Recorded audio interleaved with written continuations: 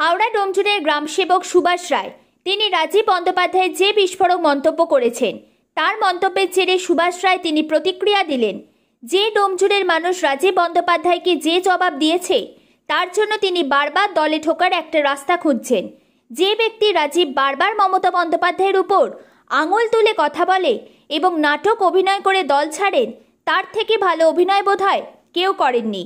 তাই দল ছেড়ে নরেন্দ্র মোদীর, অমিত শাহের চার্টার ফ্লাইটে করে তিনি বিজেপি নামক দলে যোগ দিয়েছে।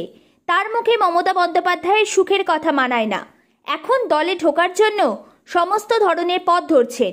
এই ব্যক্তি রাজীব বলে উপেক্ষা করলেন বালি জগাছা পঞ্চায়েত সমিতির পরিবহন কর্মাধ্যক্ষ সুভাষ আপনারা দেখছেন নিউজ বাংলা।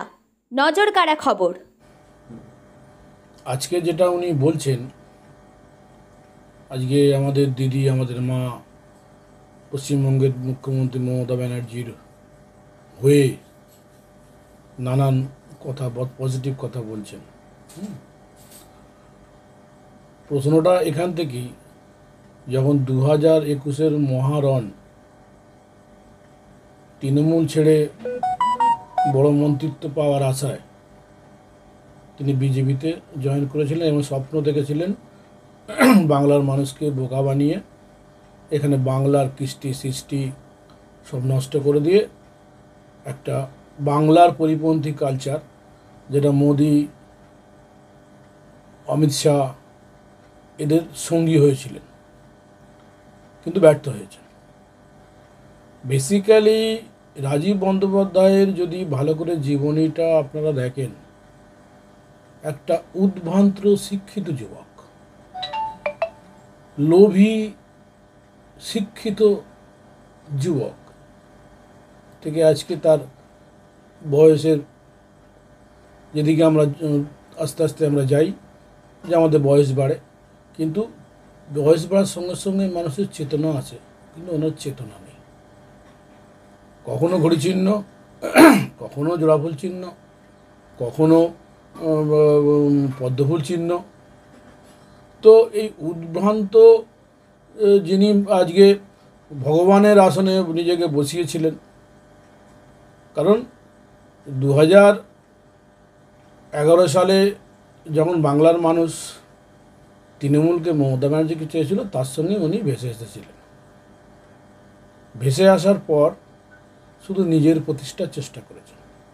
দলের নয় মমতাদির জয়গান নয়, নিজের ঢাক শুধু বাজিয়েছেন। এই পরিস্থিতিতে দাঁড়িয়ে আজকে উনি কি বলছেন সেটা আমার মনে হয় বাংলার মানুষের অত ধৈর্য নেই, সময় নেই কি বলছে। কারণ ওনার কথার আর কোনো গুরুত্ব নেই। এই আমরা দলের সৈনিক। কিন্তু ডোমজুর নিয়ে যখন প্রশ্ন করলেন, তো ডোমজুড়ে মাটিতে পনেরোটা অঞ্চলে উনি সাম্প্রদায়িক দাঙ্গা লাগিয়েছেন। সম্পূর্ণভাবে যেটা আমরা যে ধর্মনিরপেক্ষ রাষ্ট্র, এখানে ধর্মীয় সুশ্রুতি দিয়ে যা কাজ করেছেন, সে ডোমজুড়ের মানুষ অত সহজে সেগুলো ভুলবে না। অত সহজে ভুলবে না। আমরা আমরা দেখেছি যে দস্যু রত্নাকর থেকে বাল্মীকি হয়েছিল। এটা আমরা রামায়ণে দেখেছি। কিন্তু আমরা কলিযুগে দেখলাম যে নিজেকে বাল্মীকি বলে পরে পরে দস্যু রত্নাকরে পরিণত হয়েছে। সুতরাং আগামী ভবিষ্যৎ ভবিষ্যতই বলবে। আর জয়গান করলেই এই যে হৃদয়ে জায়গা পাওয়া যাবে কারণ মানুষ অতীতটা বলেনি অতীত সহজে ভোলা যায় না। সুতরাং আমরা অপেক্ষা করব আগামী দিনের জন্য কি হতে চলেছে। দাদা আরেকটা যেটা দেখুন কে কার বাড়িতে যাবে যার বাড়িতে যাচ্ছে তার তো বিষয় নয়।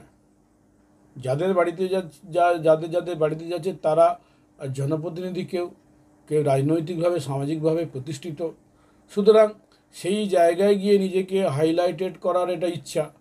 এবং এই হাইলাইটেড করা করে যদি পুনরায় নিজের জায়গা ফিরে পাওয়া যায়।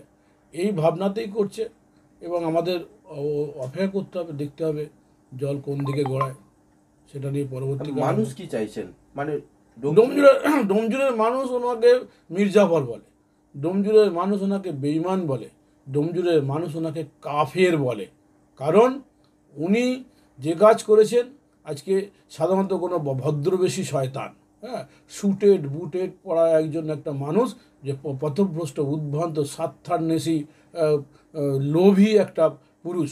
সুতরাং এই ধরনের মানুষ মানুষকে ডোমজুরের মানুষ বিশেষ করে ভীষণ ঘৃণার চোখে দেখে ওনাকে। আগামী দিনে দলের সৈনিক দলের অনুগত আমি আমি নিজে একজন কর্মী। সুতরাং পরিস্থিতির উপর দাঁড়িয়ে তখন বিচার্য হবে। এই মুহূর্তে